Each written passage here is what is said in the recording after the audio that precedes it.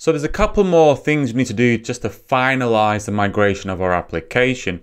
So in this step, we need to do just a couple more things just to completely finalize and clean up our migration process.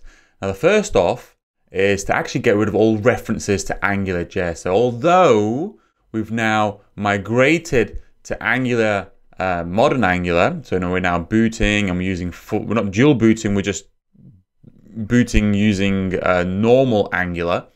Even though we're doing that, we're still referring to the old Angular stuff in different places in our code. So I think now is a great chance just to make sure we're cleaning all that up. And it's really important to do so because of the way Webpack works. Even though we're importing this, and even though this makes no difference to our Angular application, to our modern Angular application, even though we're importing these Angular JS libraries in, and we're not using them in our Angular application, the way Webpack works, it will still spider this and it will still grab all this code and stick it in the final uh, bundle file that we've got here. So we want to make sure we don't have a large bundle.js file. That's the kind of the main reason uh, we're doing that. And also because it's a good, good idea just to clean everything up, to be honest with you. So first off, let's make sure we've got rid of all of those import star as Angular statements. So I'm just going to do import star as Angular and let's find out what we've got. So we've got a couple of different places. Now, one of them is this app main.ts, which is actually the old Angular uh, module where we're bootstrapping. So actually, we just want to get rid of this file, so we don't even need to deal with that just yet. And then we've got this old filter, so default image filter, so you were using it there. And again, we're not using any AngularJS anymore, so we can remove any filters.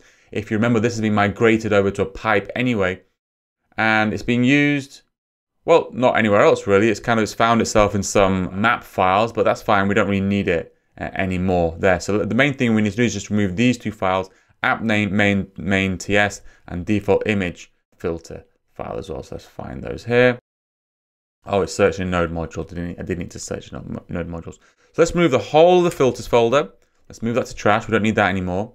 And if you remember, we already also had this app main.ts. Again, we don't need that anymore.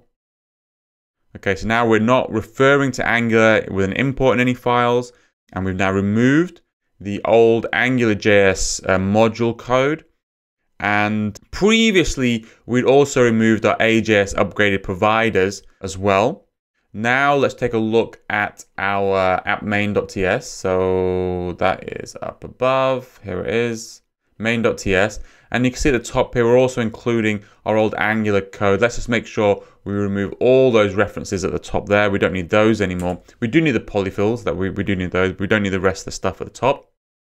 And then let's go into our package JSON and make sure we have removed all of this old Angular import to the bottom. keep the Angular 2 stuff. We do need the Angular 2 stuff, but this is all the old Angular stuff there.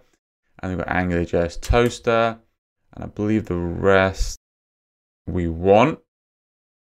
Yep, the rest looks good. Now let's make sure everything's working still by compiling the application.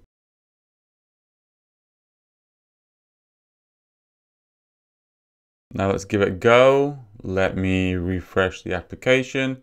It looks good. Hit delete, hit edit, hit save. So awesome. Now we've removed all references to Angular JS uh, from our package JSON and from our code. Everything now is a pure Angular application.